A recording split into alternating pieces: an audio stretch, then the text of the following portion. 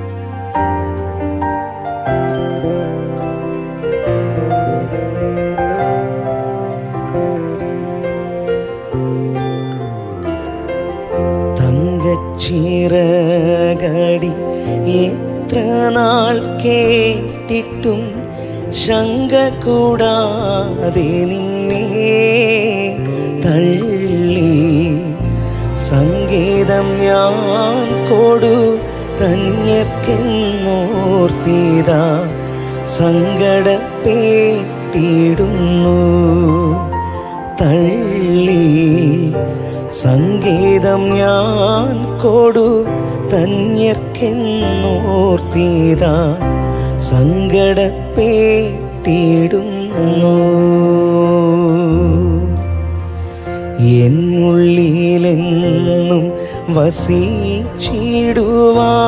സ്വർഗ മണ്ഡപം വീട്ടിറങ്ങി വന്ന ഉന്നതനാം തങ്ക പ്രാവേ നീ വന്നെന്നിൽ എന്നും അതീവസിക്ക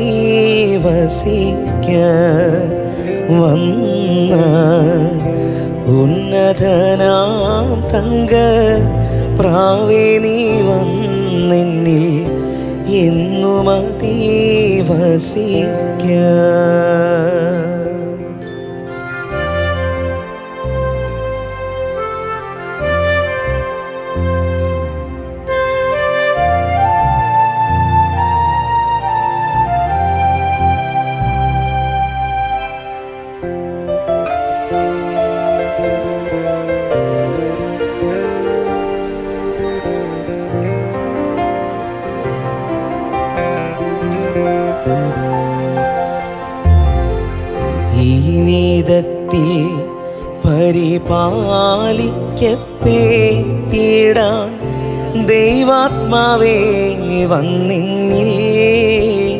എന്നും ആവസിച്ചു തവ തേജസാലിനൂടെ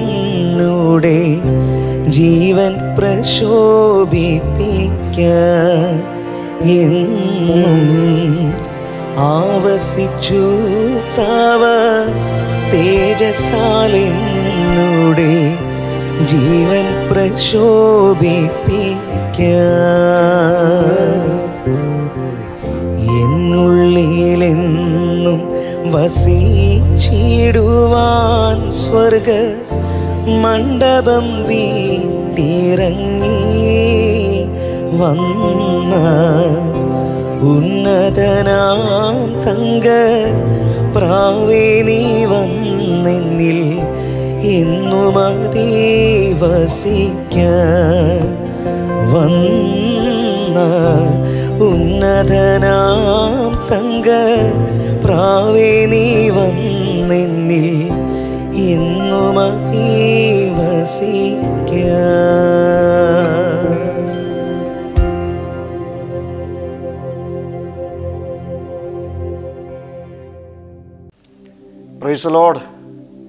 കർത്താവിന്റെ പരിശുദ്ധ നാമത്തിന് മഹത്വം ഉണ്ടാകട്ടെ അനുഗ്രഹിക്കപ്പെട്ട ഈ ദിവസത്തിന്റെ പ്രഭാതത്തിലും.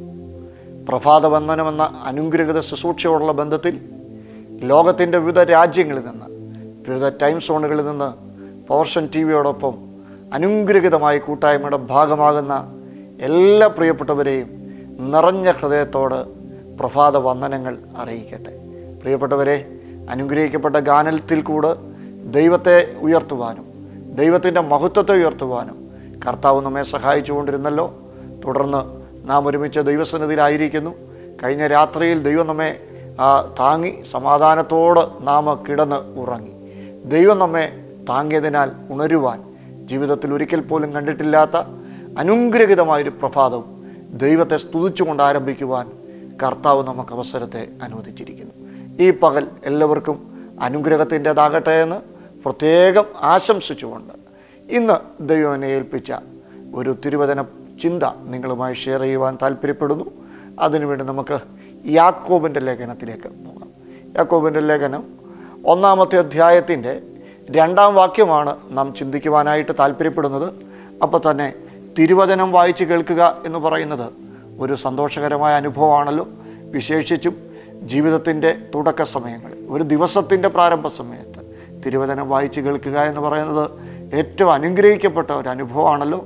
അതുകൊണ്ട് തന്നെ യാക്കോബിന്റെ ലേഖനത്തിലെ ഒന്നാം അധ്യായത്തിലെ ചില വാക്യങ്ങൾ ഞാനൊന്ന് വായിക്കാം. ദൈവത്തിന്റെയും കർത്താവായ യേശുക്രിസ്തുവിന്റെയും ദാസനായ യാക്കോബ് എഴുതുന്നത് ചിതറിപ്പാർക്കുന്ന പന്ത്രണ്ട് ഗോത്രങ്ങൾക്കും വന്ദനം.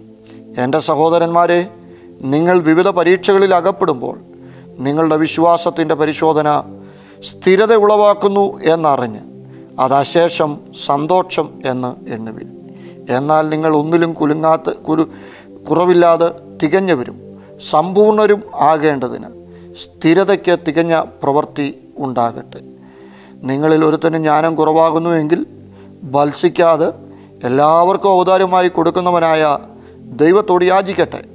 അപ്പോൾ അവന് ലഭിക്കും. എന്നാൽ അവനൊന്നും സംശയിക്കാതെ വിശ്വാസത്തോടെ യാചിക്കുന്നു.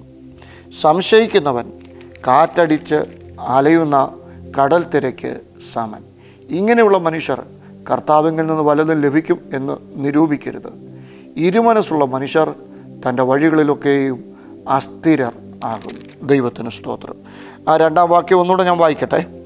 എന്റെ സഹോദരന്മാരെ നിങ്ങൾ വിവിധ പരീക്ഷകളിൽ അകപ്പെടുമ്പോൾ നിങ്ങളുടെ വിശ്വാസത്തിന്റെ പരിശോധന സ്ഥിരത ഉളവാക്കുന്നു എന്ന് അറിഞ്ഞ് അതശേഷം സന്തോഷം എന്ന് എണ്ണുവി ഇവിടെ പറയുന്നത് കഷ്ടതകൾ കൃത്യമായിട്ടും നമ്മുടെ ജീവിതത്തെ തികഞ്ഞ അനുഭവങ്ങളിലേക്ക് എത്തിക്കും.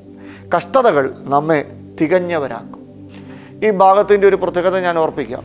ജീവിതം എപ്പോഴും പ്രശ്നങ്ങൾ നിറഞ്ഞതാണ് അത് സമതലങ്ങളിൽ ശാന്തമായി ഇഴഞ്ഞു നീങ്ങുന്ന തോടുകളല്ല. മറിച്ച് മലകളിൽ നിന്ന് കുത്തി ഒഴുകുന്ന കാട്ടരുവികളായിട്ട് ചിലപ്പോഴെങ്കിലും ജീവിതം മാറാറുണ്ട്.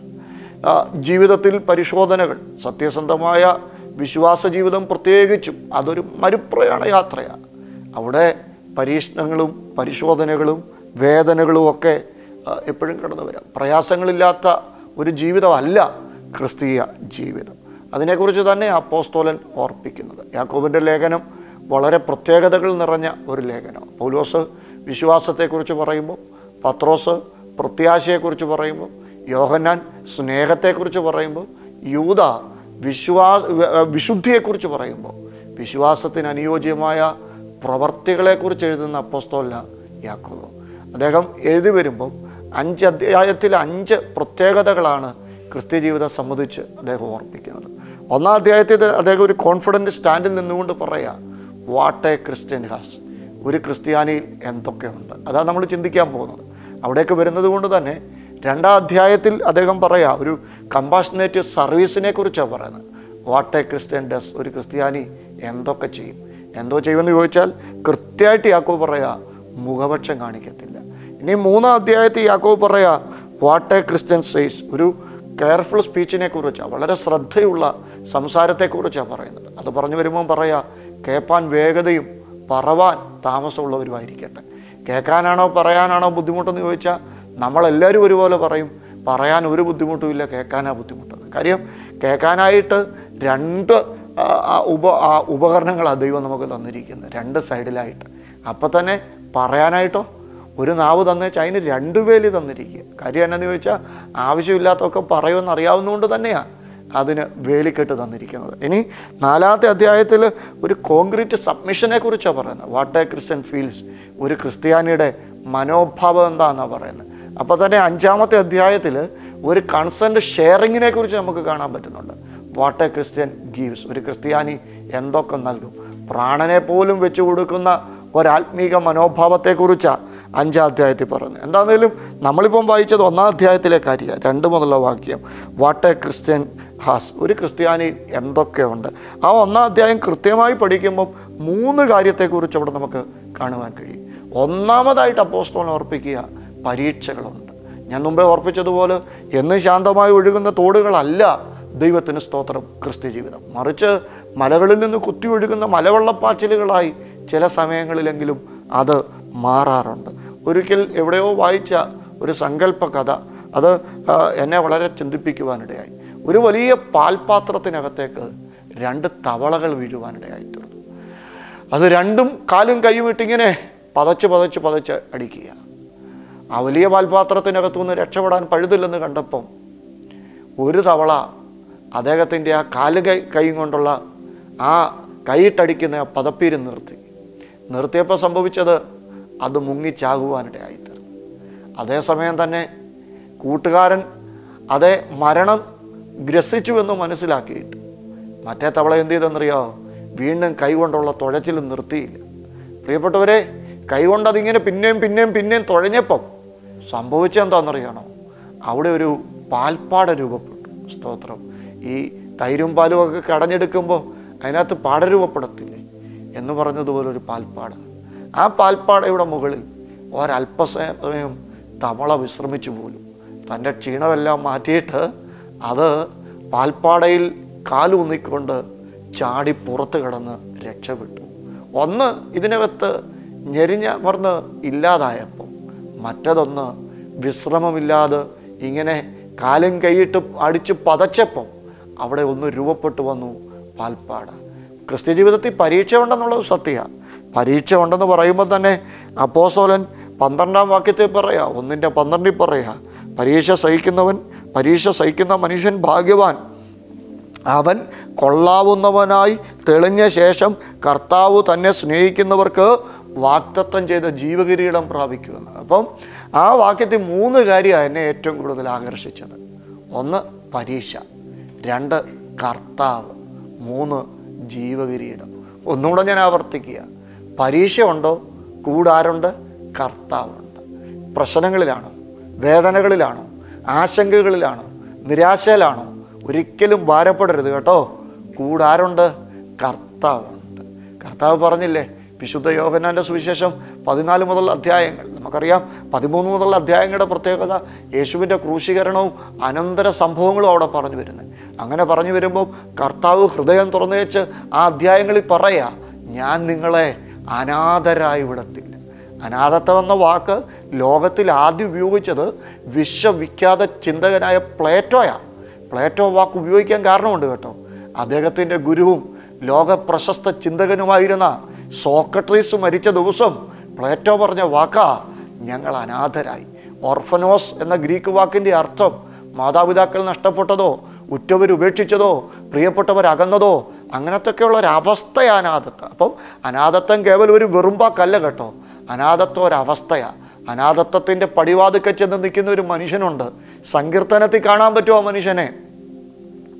അദ്ദേഹം പറയാ എന്റെ അപ്പനും അമ്മയും പോലും എന്നെ ഉപേക്ഷിച്ചിരിക്കുന്നു. എങ്കിലും അദ്ദേഹം പറയാ ഞാൻ അനാഥനല്ല. എന്നെ സനാതനനാക്കി മാറ്റുന്ന ഒന്നുണ്ട്. എന്താണെന്നറിയോ? കർത്താവ്. അപ്പം ഏത് പരീക്ഷ ഉണ്ടോ? പരീക്ഷ പ്ലസ് സമം പരീക്ഷ അധികം എന്നൊക്കെ പറഞ്ഞു. പരീക്ഷയ്ക്കപ്പുറം അല്ല പരീക്ഷയുടെ കൂട് ആരുണ്ട്? കർത്താവുണ്ട്.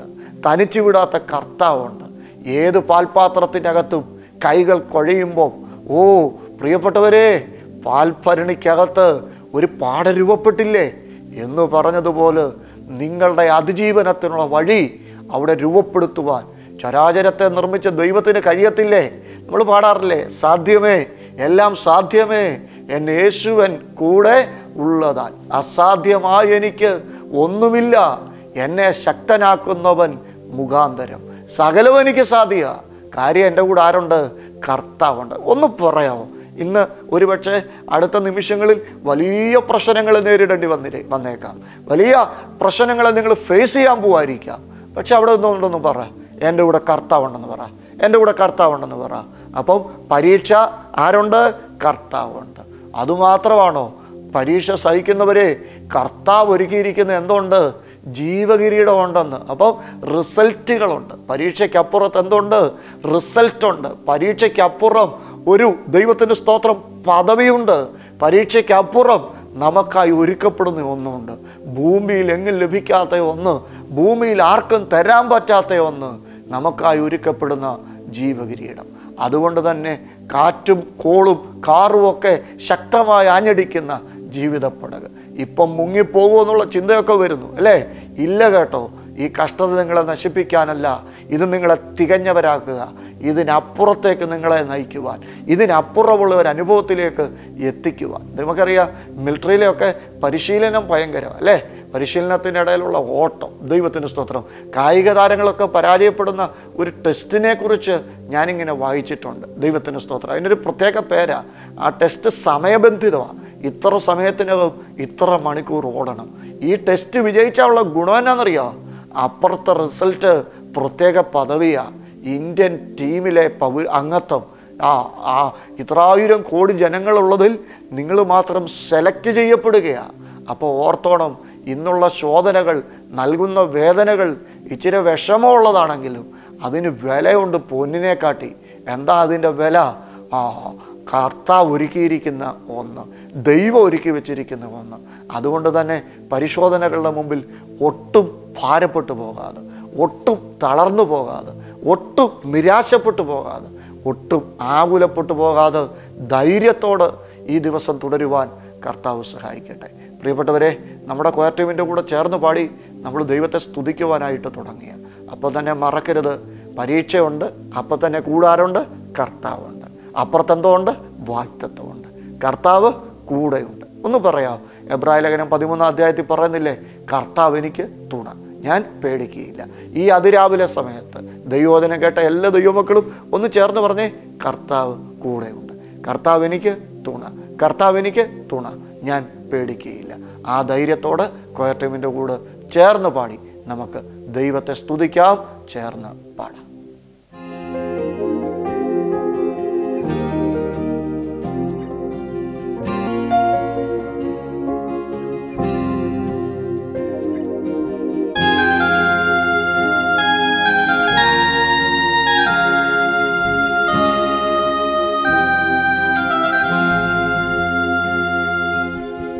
യേശു എൻ പക്ഷമായി തീർന്നതിനാൽ എന്തോരാനന്ദമീ ഭൂവിൽ വാസം. യേശു എൻ പക്ഷമായി തീർന്നതിനാൽ എന്തോരാനന്ദമീ ഭൂവിൽ വാസം.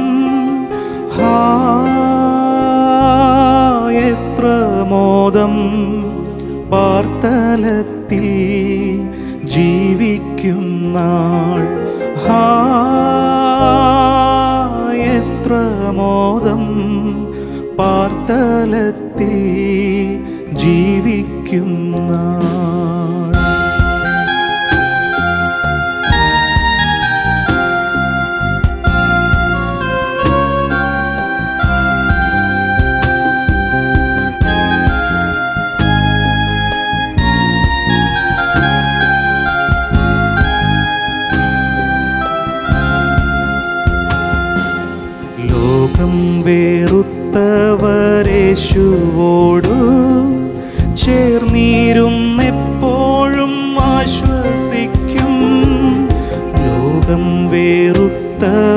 ेषु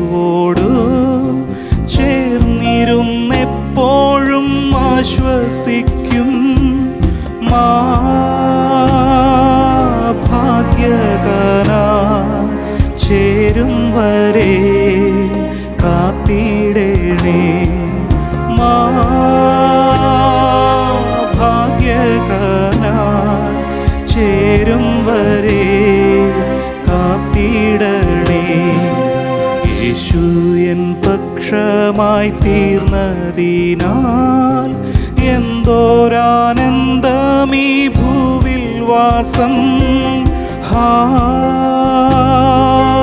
എത്ര മോദം പാർത്തലത്തിൽ ജീവിക്കുന്ന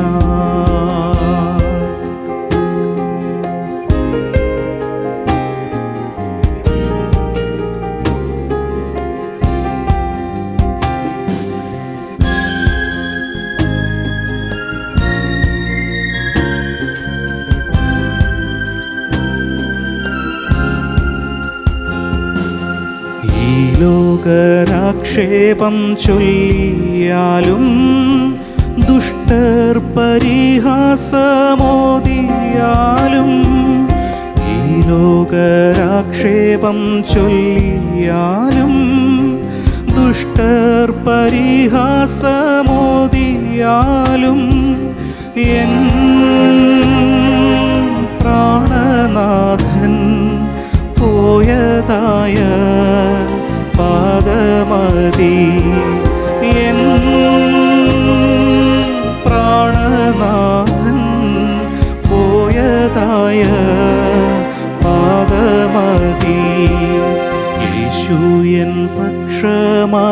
തീർന്നതിനാൽ എന്തോരാനന്ദമീ ഭൂവിൽ വാസം.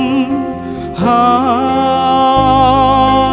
എത്ര മോദം പാർത്തലത്തിൽ ജീവിക്കുന്ന ലോകം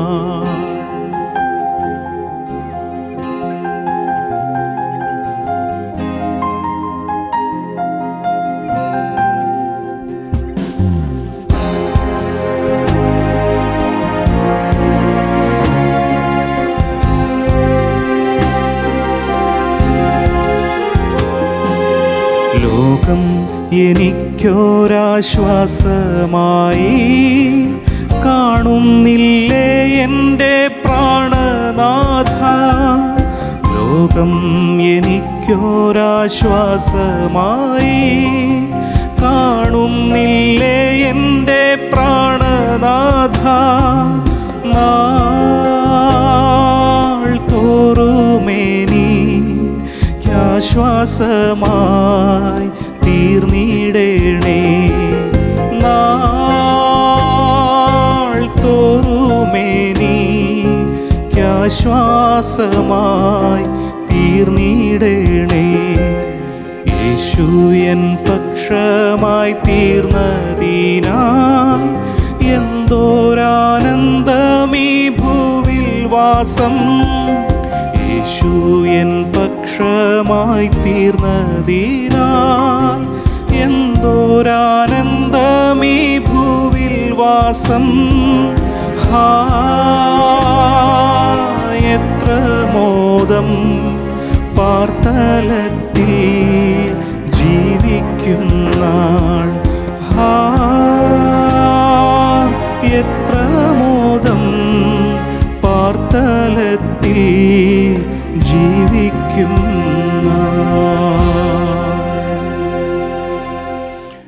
നിമിഷം നമുക്ക് പ്രാർത്ഥിക്കാം.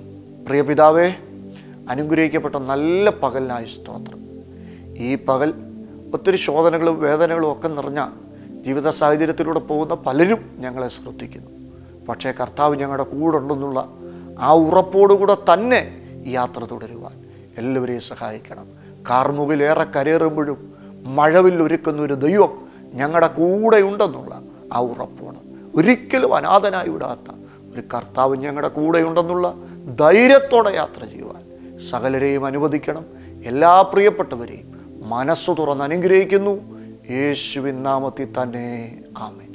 എല്ലാവരെയും ദൈവം അനുഗ്രഹിക്കട്ടെ. അനുഗ്രഹിക്കപ്പെട്ട ഒരു ദിവസമായിട്ട് ഇത് മാറട്ടെ. God bless you.